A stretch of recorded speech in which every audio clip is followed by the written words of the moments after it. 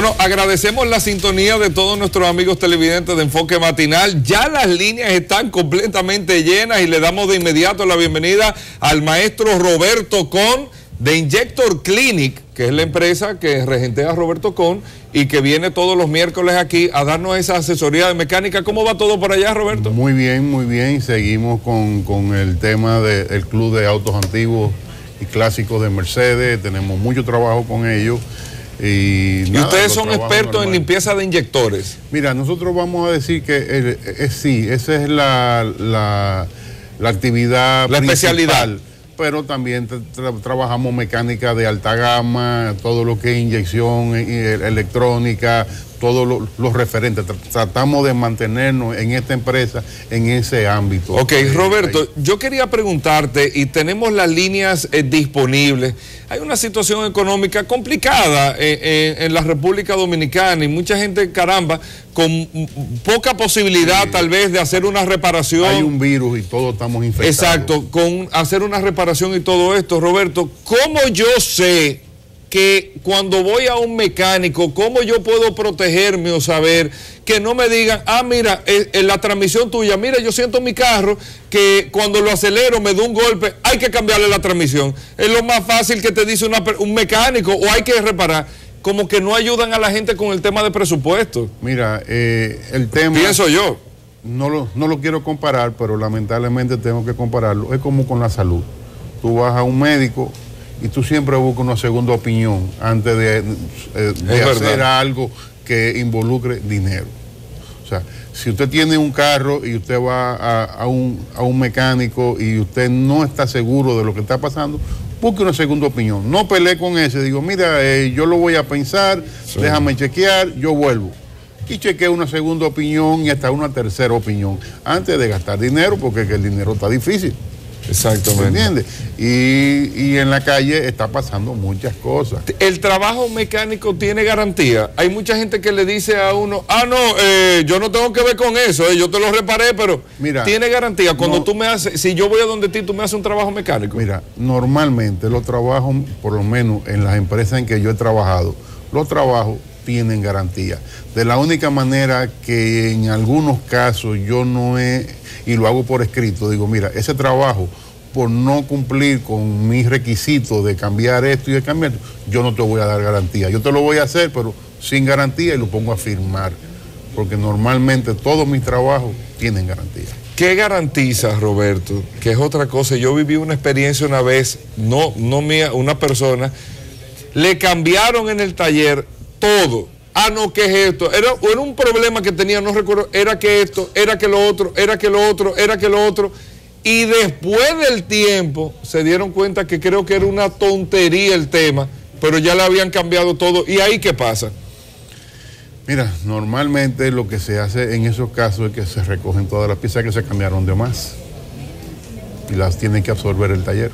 Es lo que se supone. Es lo que se supone que debe hacer. Bueno, señores, está Roberto Con con nosotros. Aprovechen nuestras líneas. Ahí tenemos los teléfonos en pantalla. El 809-683-8785, 683-8785 y 683-8786. Usted quiere hacerle alguna pregunta de mecánica Roberto Con, puede aprovechar este tiempo solamente los miércoles acá en Enfoque Matinal. Usted tiene su mecánico de cabecera aquí para ese bombillo que le prendió, ese carro que dejó de prenderle hoy, ese ruido que le salió, ese mecánico que le dijo a usted, mira qué es esto y usted no cree que es esto, pues puede hacer la llamada y vamos a iniciar Roberto de inmediato con la primera. Buenos días. Sí, eh, le hablo del señor de la avalancha que me dijeron que limpiara los inyectores. Oiga, eh, esa guagua que me presenta en el tablero una luz que dice break, break ¿Qué será eso? Y yo le puse la banda nueva. Roberto. Ok, si tiene una luz que dice tracción, tiene que no, break, break, es la de los frenos. Eh, me suben un poco el retorno de la llamada si, si, si es posible y si en algún momento se puede hacer. Si le tiene la luz de break, tiene que chequear eh, el nivel de líquido en el reservoir de la bomba y hay que leerlo a ver si no tiene algo más, si esa guagua tiene sensores en los él frenos. Él le cambió los frenos, él le acaba de cambiar los frenos. Hay que, hay que chequear varias cosas. Hay algunas bandas que tienen sensores de, sensores de desgaste, que le hayan puesto bien los sensores de desgaste o lo hayan conectado. Eh, hay una luz, hay un sensor, una, una flotica dentro del reservoir del líquido de freno hay que chequear varias cosas ahí. ¿No será tal vez, Roberto, que le cambió la banda y no le resetearon el sistema? No necesariamente. Y tiene que chequear también el sensor, o sea, lo que dicen la cebolla del stop. El sensor de freno que trabaja casi siempre con el pedal, de que no esté malo y no esté dando la señal correcta. ¿Es cierto, Roberto, con que el líquido de freno no está supuesto a agotarse, a terminarse? Eh, bueno, el líquido de freno es, un, es un, punto de mantenimiento. Cada vez que se hace mantenimiento en un carro, se debería chequear el líquido de freno y como máximo se debe ser, como, perdón, como mínimo, se debería cambiar una vez al año. Pero no está supuesto a gastarse. Es como el gas del aire acondicionado que se supone que se gastó es porque hay una fuga, algo se rompió, algo está dañado y está botando el líquido tiene que ir inmediatamente a un taller porque puede tener problemas mayores. En este tema de los autos con tanta tecnología ahora, tantos sensores, Roberto, en esos casos ya la mecánica se está convirtiendo, o sea, no es esa mecánica que cualquiera la puede trabajar, ya todo es con computadoras que hay que hacerlo. La mayoría de temas en los carros es con... Ya esa mecánica de llaves y todo eso. Primero hay que saber dónde tú vas a ir. ¿Por qué? Porque hoy en día si tu transmisión tiene problemas, el carro va a perder la potencia, la computadora de la transmisión le va a mandar una señal a la computadora central y el carro se va a ir a un programa de emergencia donde el carro camina pero sin potencia. Y a lo mejor nada más haga dos cambios en la transmisión para que puedas llegar al sitio de servicio. Nos están haciendo una pregunta a través de las redes, Roberto. ¿Qué tú recomiendas?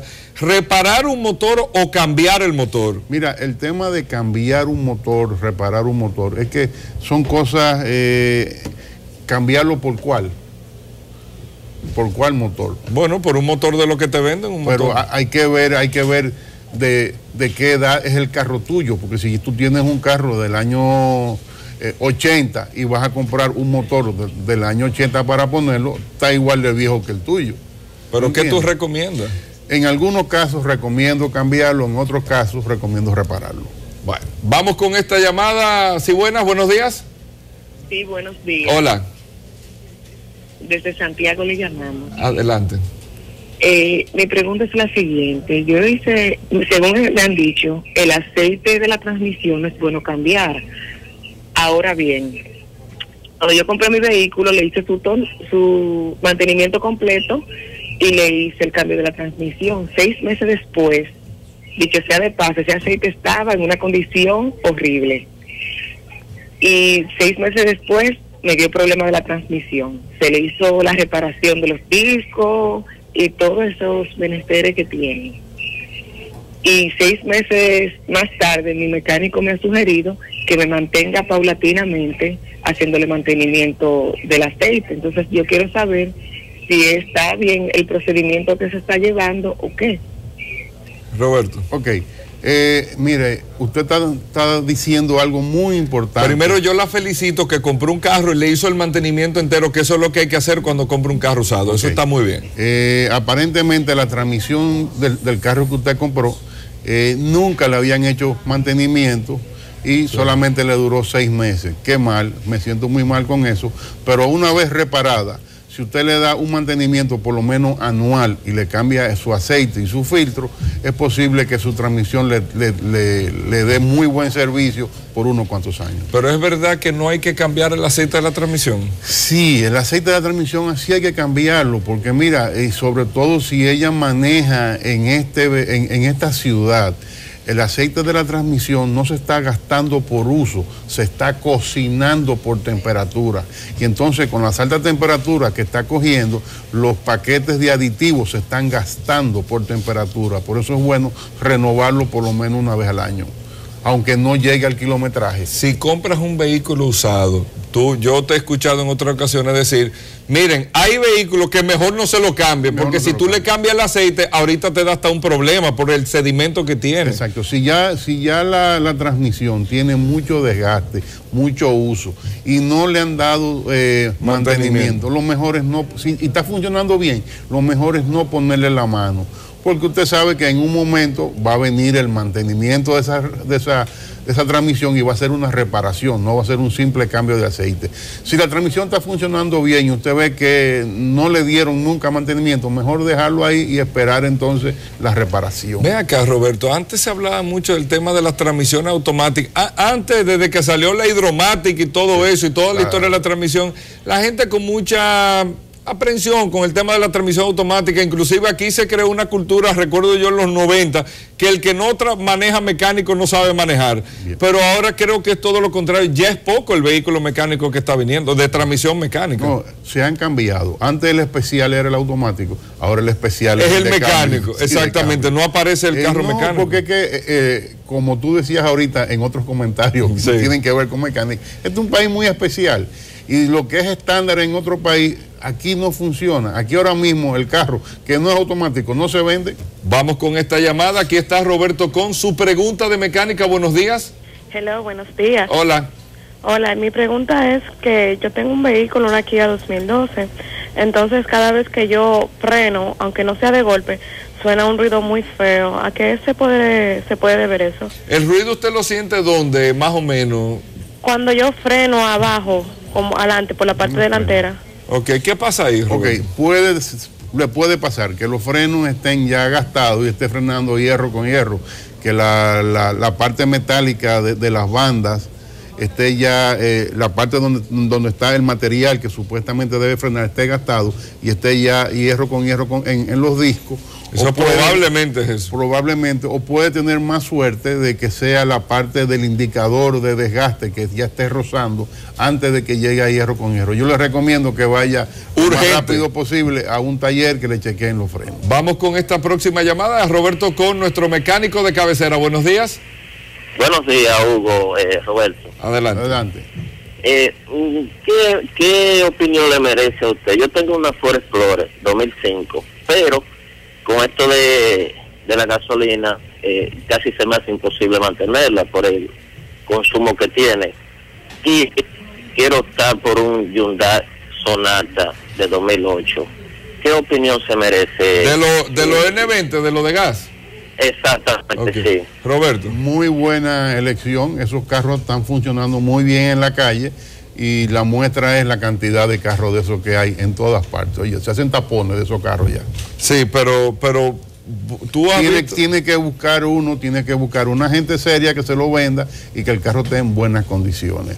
Lo hay buenos y lo hay malos. Exacto. Por, el simple hecho de que sea un N20 de lo que vienen de fábrica, no quiere decir que usted encontró eh, la felicidad en una cajita. Y recuerden, recuerden que un carro usado no se parece a otro usado. Esos carros son importados usados eh, desde Corea y todos los carros son diferentes, tenían dueños diferentes. El único que se parece un carro a otro es cuando es nuevo, bueno, que todo está en igualdad de condiciones. Entonces, por eso, como dice Roberto, siempre es bueno chequearlo, siempre es bueno llevarlo, no tal vez, ah, que yo conozco un mecánico, llévalo a un centro, que sea un centro neutro, que no le vaya a dar ninguna opinión viciada y usted lo lleva, que se lo chequee ya, pero... Tiene que recordar que son carros que tienen alto kilometraje. Más de medio millón de kilómetros. Son carros que vienen, sobre todo, eran taxis o carros de, de, de, rencar, o sea, todos tienen mucho kilometraje, pero están en buenas condiciones. Yo he visto muchos que están muy buenos. Muy bueno. Bueno, ahí, ahí está la información que usted quería saber.